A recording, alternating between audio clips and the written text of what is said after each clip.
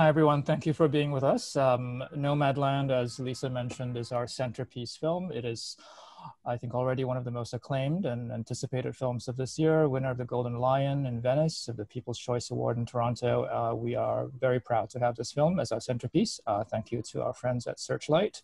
Um, very pleased to be joined uh, by two guests today. We have the writer and director of the film, Chloe Zhao. Uh, Chloe was in the main slate a few years ago with the Rider. Uh, very happy to have you back in the festival, Chloe. Thank you. Thank you. Very happy to be back. And we also have with us one of the film's producers, Peter Spears. Um, Peter actually was along with uh, Frances McDormand, another producer, and of course the star of the film, uh, was the one who optioned the book Nomadland um, by Jessica Bruder, and so was instrumental in getting this project off the ground. So thank you for being with us, Peter. Thank you for having us. Sorry, Frances couldn't join us today.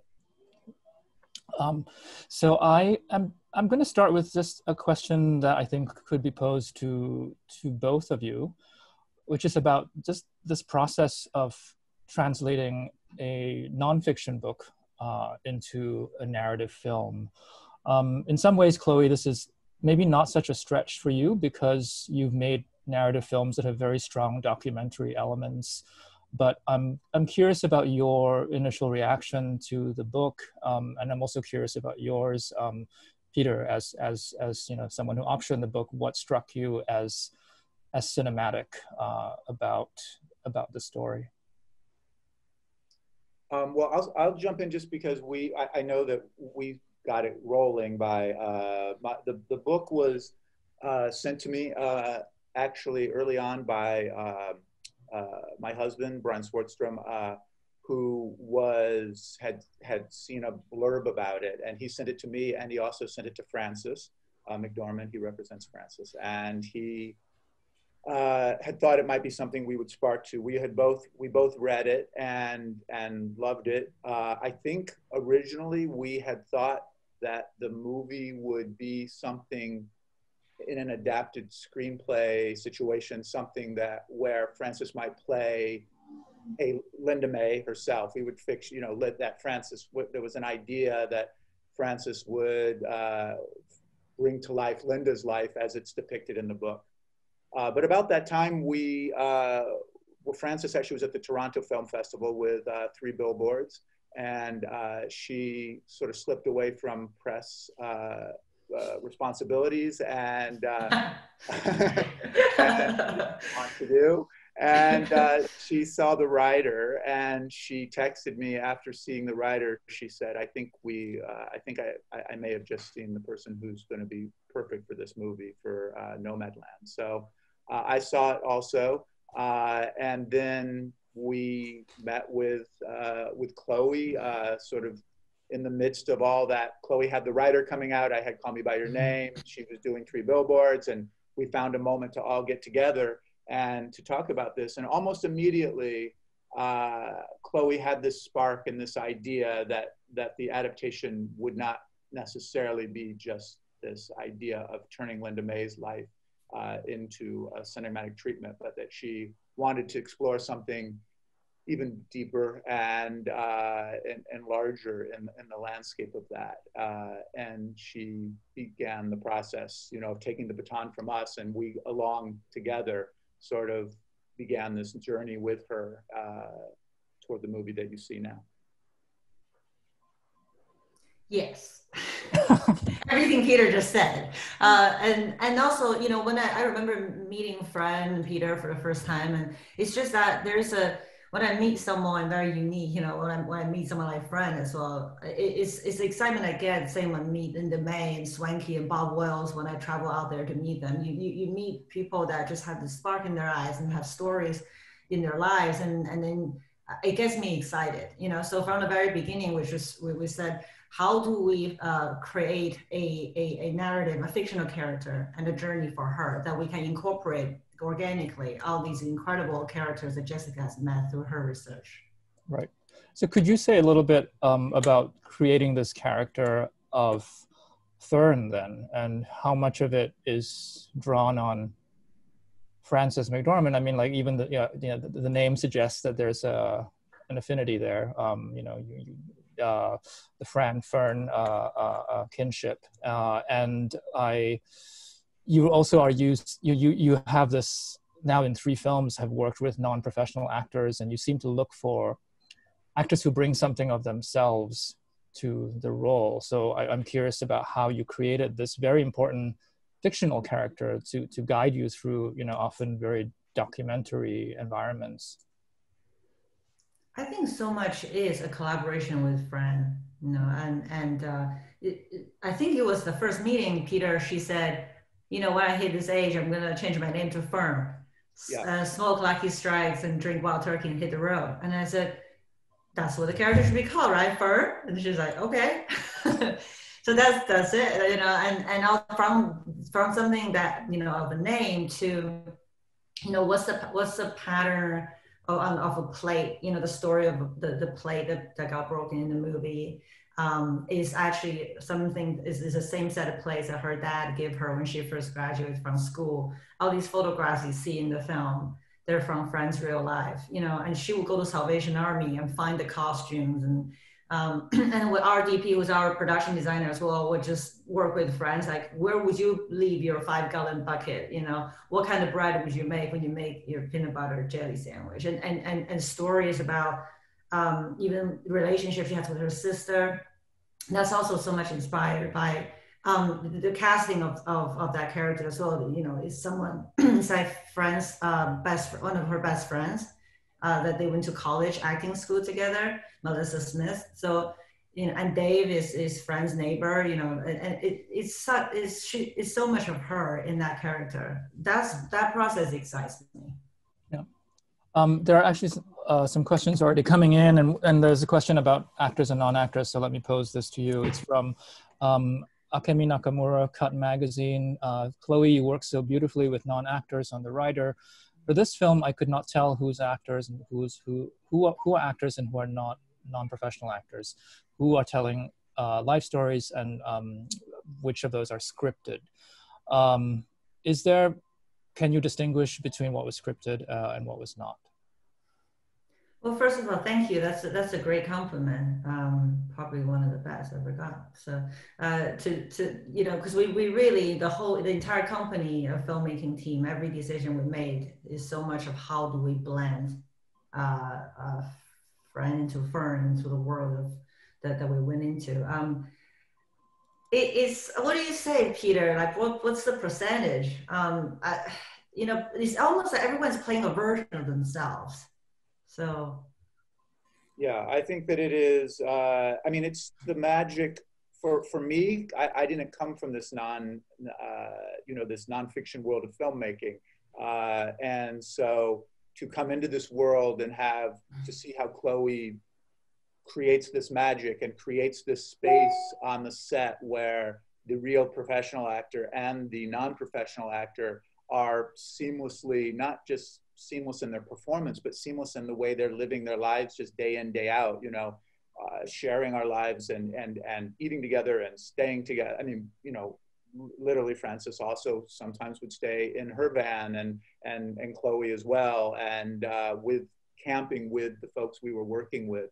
So we really were certainly embedded amongst them, but we really became a part of that community. And, and as much as I know they learned from the professional actors, we learned from them as well and really helped as well that we had, you know, uh, a very uh, succinct and trimmed down crew uh, where everybody was was wearing multiple hats so that we could really be stealth in the way we were and, and non-invasive in this community. But having also like you know the producing partners of Mollye Asher and, and dan janvey who Mollye's worked with chloe on two on her two previous movies so she had a lot of experience uh, with this. Dan comes from uh, the world of Benh Zeitlin and, and, and knows how to also working with real people to uh, make them find their most organic and, and, and real selves and most comfortable selves. And then Chloe's ability to capture that uh, on film was really, really remarkable uh, to see come together. Mm. Chloe, can you say a bit more about this interest that you have in um, working with non-professional actors? I mean, it's something that has there's a long history of it in, in cinema, um, going, you know, Italian neorealism mm-hmm. and, and, and, all that. But um, it's not, it's not exactly common, uh, I think, in, in sort of Hollywood films or you know even American independent uh, films these days. So, but you've done it in all your films, uh, and I'm wondering if that's something that you've always had, like, um, or is it something that you discovered, you know, in when you were at like Pine Ridge, you know, and and encountering the subjects of your first two films. I think at the beginning it, it came out of necessity because because when when you especially if you go to a place that that hasn't been shot a lot and and I, I went to Pine Ridge and I I just couldn't imagine anybody could play the kids that's ended up in the film. I don't know where to find them. I didn't have the resources to do that kind of wild range of casting. And I was going to communities that's, that's not really my own, um, I guess uh, you can put it like that. And, and, and that collaboration with them is so important to bring authenticity to the characters.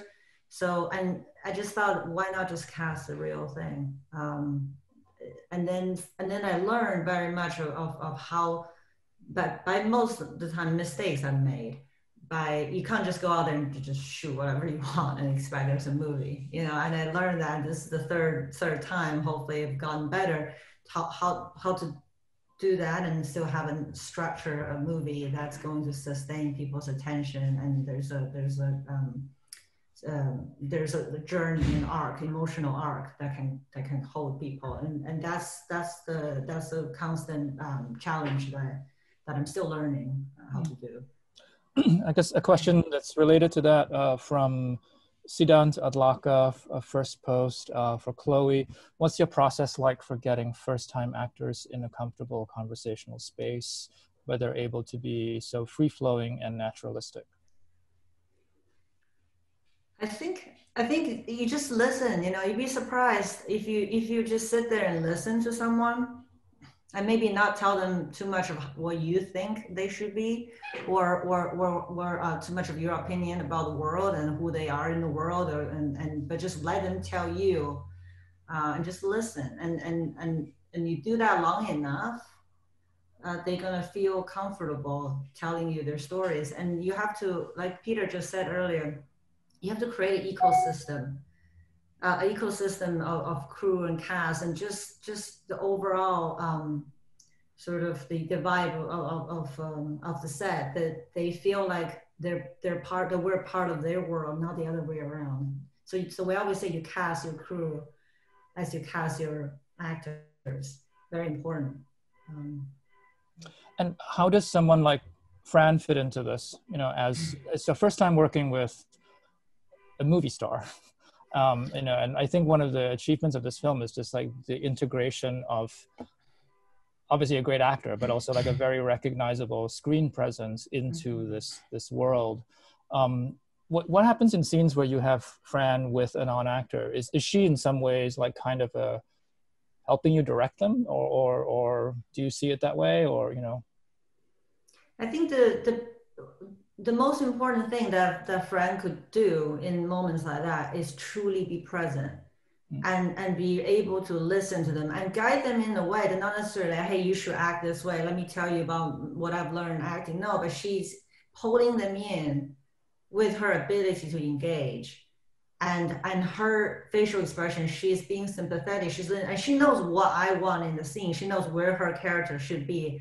So she's really reacting and she's not even very hard to do, I think, imposing something that she felt her, her character should do in the moment. Because a lot of times the non-professional actor might end up going off the arc of the scene because they felt like they should be talking about something and they're just being authentically themselves. Unless um, I think um, of an actor would end up imposing their moment anyways. What Fran is able to do is is then shift in the moment but yes still being completely present and staying in character with them. And that is like that's the 24 7 job she did for like five months. Is ex- incredibly difficult and exhausting because you have to constantly be fully present. And that if anybody who who felt when a loved one or someone that listened to you fully present is a great gift for you and I think that's how she can best help me in those moments to get the unprofessional actors to open up in the scene. Uh, it's a question from Adam Schartoff of FilmWax Radio. In, in your research for the characters, did you find that people identified with the term nomad or not? Did you find that many of the nomad experienced loss, um, like a number of the characters in your film? Peter, what's the term that, that, that people loved? It's not nomads, is it?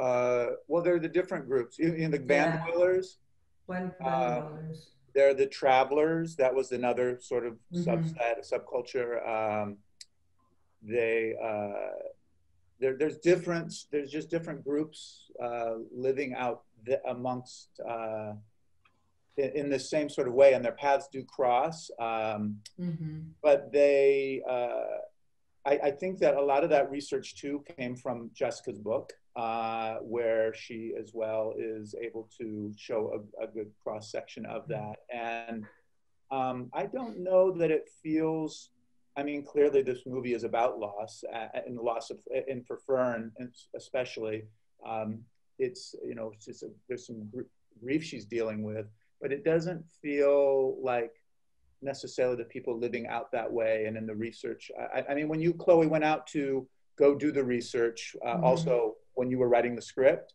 and you were sending messages back, kind of missives yeah. back of photos and, and uh, people you were meeting and little moments and things like it was it was all very hope. I mean, there's a lot of hope, and there was a lot of uh, life, and uh, and sort of very much felt uh, like she was tapping into something very deep and and meaningful uh, and and very American.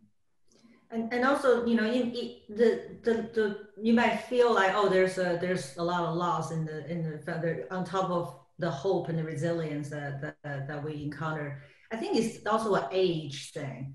You know, I think that's that's something that that, that Bob Wells has said to me when we first met. He's like, it's just the thing is like the, the, the van dwellers I work with, they're usually in their later part of their lives.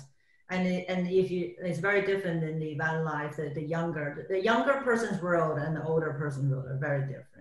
Um, and and in the Bob said, you know, I just met everyone has experienced some kind of loss that's not like a specific to a time. It's just a human loss when you get to an older age, and a loved one dying or losing somebody is because we don't live forever, um, and, and you just have more life experience, and so that that might be something that's seeping through that people are feeling. Right. Um, we have a couple of questions about the uh, the many hats that Chloe wore. Uh, a couple of people noted that you also edited the film. Uh, Jeff Ewing from Forbes uh, wants to know about the editorial process and a more uh, a comment from Jeremy Fassler, Columbia Journalism School. Um, says he was blown away by the editing in the film. Um, almost every scene feels like you're dropping in to see a snippet of something larger, and we cut away uh, to another scene without the rhythm feeling choppy or arbitrary. So a couple of questions about editing. Um, if you want to oh, speak about so, that, Chloe. That's so nice because I have a feeling most people think it's choppy. I appreciate that. I like that. Uh, um, we it, it, it, was actually because the you know we, we had a, a quarantine as well. So initially I just thought I'm just gonna do it myself, um, and then if I do end up needing to branch out, we would. But but the pandemic made it easier for me to just do it myself, and I work very closely to the producers and, and to, to the execs at Searchlight and and the notes they've given me through the process is super helpful because I'm it's so insulated to to write direct and then edit uh, in your little quarantine room. So um, you know what the whole process was about. What do you think, Peter? Two to three months. It was pretty pretty quick. Um, and that that comes from having collaborated also with my cinematographer like two times in a row now we kind of know how we're going to cover in a way that we, we know that the style of editing is going to to because if you edit this film traditionally we don't have the footage for it so you know the, the style is, is is determined by the way we shot the film right uh, a couple of questions about music. Um, one from Alessandra Rangel. Could Chloe talk a little bit about how you incorporate music in the movie and your collaboration with Ludovico Einaudi? Uh, and another question from Anne Katrin uh, Titze about um, scene for where she's Fern sees uh, singer-songwriter Cat Clifford uh, and the Cowboys uh, off in the distance, connects Nomadland with the Rider, and then we hear her song again during the end credits. Um, did he write "Drifting Away I Go" for the film? So two questions about the score and, and also that use of music. You guys ask the best questions. I love this. Uh, first of all, to Cat. Cat exists in my little cinematic universe of South Dakota. He's been on my three films. Um, and um, he played a guitar in every single of them, and he plays the song in the end. Now, "Drifting Away" is the song that um, that day Kat and the Cowboy showed up. I said, "You got a song to play on camera?" And he's like, "Okay, what about this?" And he showed me on his iPhone. It's something that is not something he wrote for the film. It's just something he had he, he's recorded and he has on SoundCloud. I was like, "Oh, that's a good one." So he played, and then on camera, and then as we were thinking of an ending song, you know, Peter was like, I, I think there's an opportunity because he Peter actually was so moved by by the the boys' performance on that day on the cliffs, and then loved how that music and Ludovico's piano for some reason has this really interesting um, cross. And he actually really Peter uh, really encouraged me to to explore having Kat song at the end of the film, but but it was very stripped down. So we worked with our music editor to collaborate with another musician and to do a different rendition for the for the for the ending. So I really like that you noticed that. Uh, I have actually now physically worked with Ludovico, and I hope I get that opportunity someday. Uh, a lot of filmmakers I really admire use um, pre-composed music, uh, use existing score for their films. So that was my first idea, and it was literally I googled beautiful classical music inspired by nature on the internet, and and then Ludovico's um, YouTube video of um, it's called the Elegy uh, of the Arctic, of him playing piano on a on a floating platform in the Arctic Ocean, and it's just this really singular, beautiful uh, piano piece, and then you see the ice uh, collapsing behind him from the mountains, and I was like, "Whoa, this is!" I felt something, you know. And then the Seven Days Walking album, where he wrote seven albums inspired by the seven days of his the same walk he took on the Alps um, and so every element from golden butterfly to low mist to gravity, you know. And when I was hearing that music, I was feeling that even though these two people, Fern and Ludovico, are on two different ends of the world and very different life experiences, but their connection to nature and the, the, the way they find themselves in nature actually connect them as humans. So for some reason, that music just just fit perfectly, and I was so grateful for it. Question uh, from Stevie Wong, Sky News Backstage for Chloe. Sometimes it felt like Fern's role was to reflect these stories told to her. Were there any surprises during these scenes where you kept the camera rolling and ended up in the final cut? Did Frances ever break character because she was surprised by what was unfolding? Are we gonna have a bloopers reel, Peter? for the DVD. Uh, I mean, we all like crack up sometimes, and and that's good actually. That really helps, like sometimes lighten the mood and and um, surprises. Yeah, I mean, full of it, right, Peter? Like full of surprises, and and uh, yeah. I think that was the beauty of of uh, Chloe's mm-hmm. uh, idea and the work of her screenplay and everything is that it allowed for the breathing space of surprises. That was the whole that was the goal was to have uh, the structure there so that when the surprises happened, they could be integrated into in, into the story and used and feel uh, and, and often lead us on whole new directions uh, mm-hmm, that we mm-hmm. you know to explore. Um, which is part of the reason it took four months, you know, to make to make the movie because we were exploring a lot. Yeah, like we went for Derek, for example yep. is a surprise, huge surprise. Derek, um, who plays Derek in the you know the young drifter in the film, we we, we met him uh, as we're shooting, right, Peter? It was like uh, Derek, and then uh, I was like, oh wow, he should be in the movie. And so he hops the, trains, rides trains, hops trains across America, and yeah. uh, he just ended up uh, becoming a part of the movie, and also we get worked on the movie for a bit as well. Mm-hmm. Yeah, for a whole month as an art art department assistant, the only one who knows how to really fix a car. yes. Yeah. Uh, Randy Jones is asking if there were any shots or locations that were difficult to capture uh, during principal photography. I mean, the film does cover quite a lot of terrain, geographically speaking. What would you say, Peter, was the toughest part of the shoot, just physically, I guess? Um, there was, I mean, the, the beet harvest was was difficult. There's a lot. I mean, we were that's literally a beet harvest with 100s mm-hmm. of trucks lined up for miles coming in to dump their beets, and we're trying to move cameras, and nobody is particularly used to having a camera around. And uh, Frances is, you know, trying to be focused on that as well. So I, for me, my I felt most anxious during that period of shooting.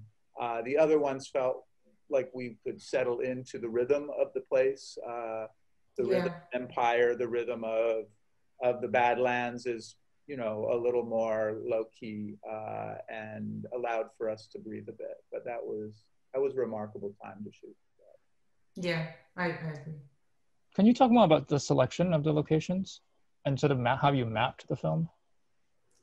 Well, we, want, we knew we wanted to be in the American West. I think we covered most of the landscape, maybe except um, canyons, like the Grand Canyon, that that, that area, Utah. Um, I, I think it's a combination of what Jessica already has researched and got in her book based on the, the itinerary of the seasonal uh, jobs, uh, and a mixture of that and and and then you know Quartzsite, Arizona, where it's like the, the headquarters um, and and then just personal places like uh, South Dakota for me, and very much like uh, the Northern California coast for Fran.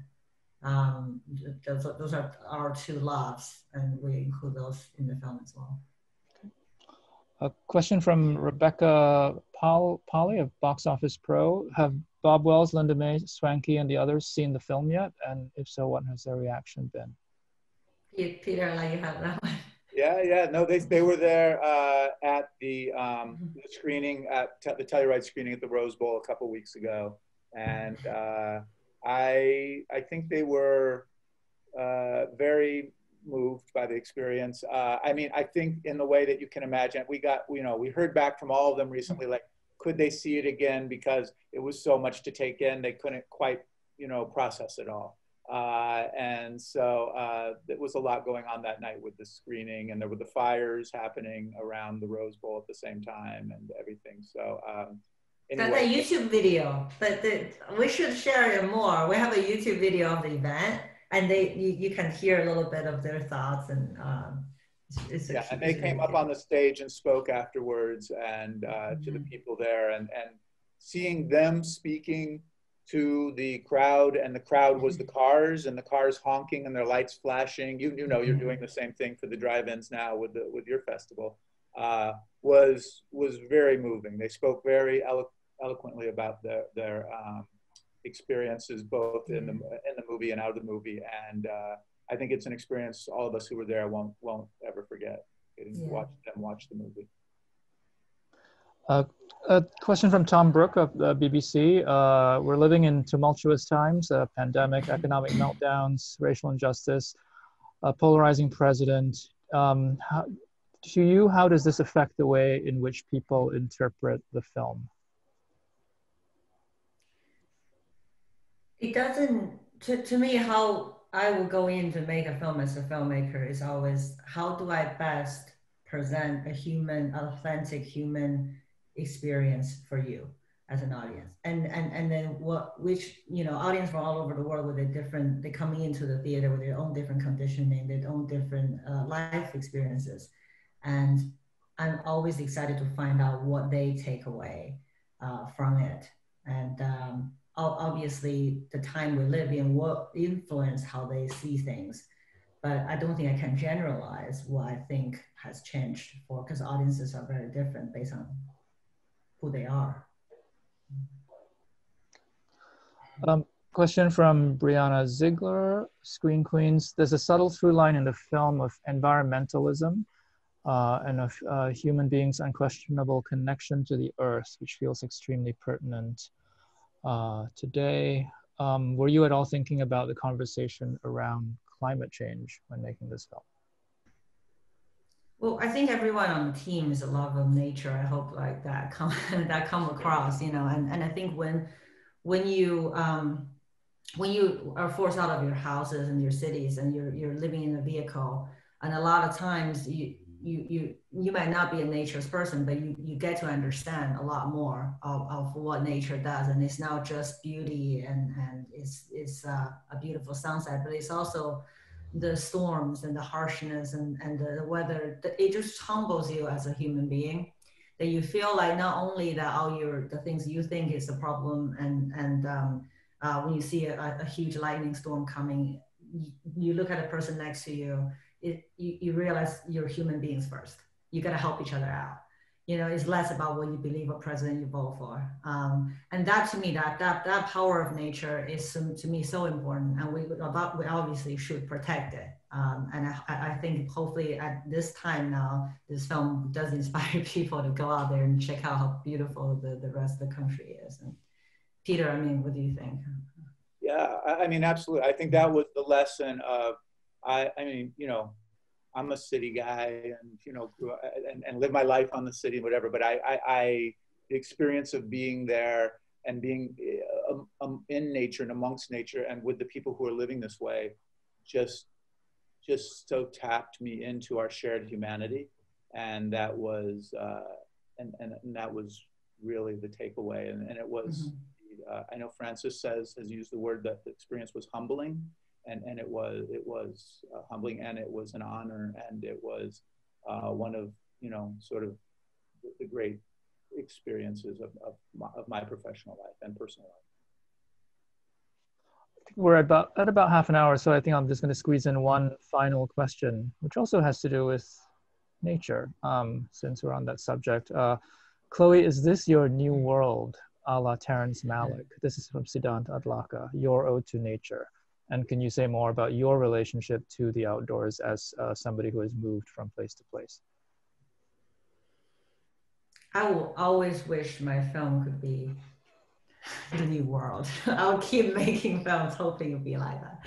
I just, I love that movie. Um, and uh, yes, uh, Terry has inspired me greatly. I, I think is uh, is very obvious, and and he's um, using cinematic language to explore um, our connection with the things that are beyond us and what, what connects us all. That that that that I just yeah I look up to to to his uh, his way of filmmaking and I, I try to learn as much as possible. But in in in terms of um, my uh, I was a city person too, just like um, Peter. You know, I, I beside Beijing, LA, New York, London, and um, I think it's uh, when I hit my late twenties and I just felt I felt something was missing and, and that that got me to go west to South Dakota from New York.